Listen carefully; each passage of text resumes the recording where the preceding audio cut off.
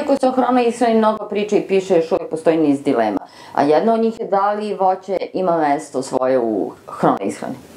U hranoj ishrani naravno da postoji voće kao jedan dobar izvor i nekih oligoelemenata, minerala i vlakana, tako da se može koristiti. S tim što ga mi preporučujemo naročito deci, dećim tom nekom uzrastu do neke školske, neke školske dobi, da mogu naravno da se konzumiraju nešto veće količine, ali kasnije ipak napraviti nekakvo ograničenje, naročito kod osoba koji imaju bilo kakav zdravstveni problem, dakle da li je to diabetes ili metabolički sindrom, povećani trigliceridi, holesterol, tada a, zaista savjetujemo da se voće unosi ne svakodnevno, nego možda nekoliko puta nedeljno i to voće sa niskim glukemijskim indeksom koji podrazumeva da će a, manjom brzinom da podiže nivo šećera u našoj krvi. Dakle, to bi bila neka boranica, to su ribizle, to su maline, mogu tu da dođe i trešnje i višnje, dakle, zavisi opet od sezone. S tim što ako neko zaista nema nikakvih zdravstvenih problema, neće mu se ništa loše desiti ako pojede kolut ananasa, mi imamo, nažalost, jedan običaj da prilično e, velike količine jedemo voća i to, e, da li je to sada zato što se zaista mnogo priča o tome da je to zdravo, da to treba jesti, definitivno jedemo najviše voća u, u regionu. Da li su jaja na crnoj listi hrone ishrane? Jaja nisu, naravno, i ne samo u hronoj ishrani, nego i u trenutno u mnogim režimima koji postoje, režimima ishrane.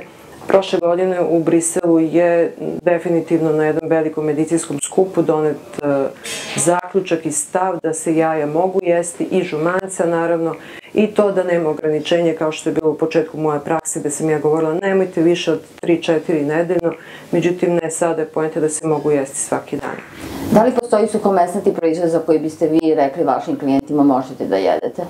Mi možemo preporučiti od suhomesnatih proizvoda one proizvode koji su takozvano, da kažemo, kompaktni.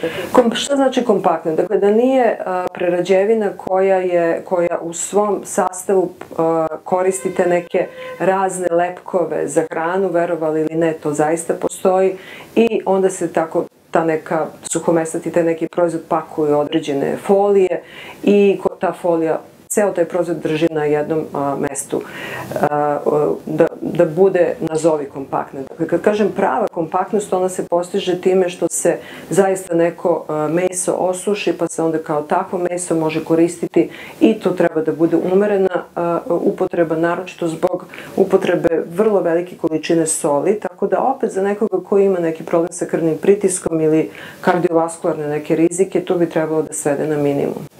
Da li krompir treba da je na minimumu ili na umerenom?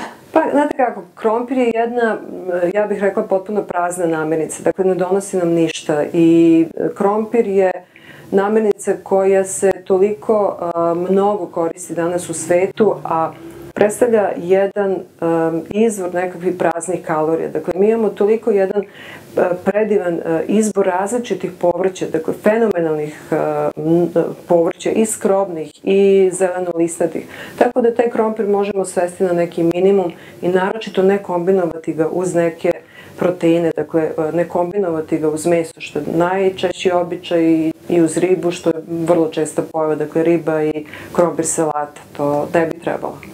Zašto hrana ishrana ne gleda blagonaklono na jogurt, a ne smetuje, na primjer, puter? Naša praksa je zapravo pokazala, mi smo u početku imali i, uh, pošto dugi niz godina već tu praksu i, i primenjujemo, Imali smo i u namirnicama tipa za doručak malo jogurta ili kiselog mleka i tako dalje. Međutim, praksa je naša pokazala da su rezultati izuzetno loši kod konzumacije jogurta nekoliko razloga. Postoji neki fiziološki razlozi, postoji neki razlozi koji se odnosi na tehnologiju prerade, Međutim, jogurt definitivno povećava masnoće na stomaku i vrlo specifično hoće da poveća masnoće kod, naročito kod muškaraca u predelu podbratka.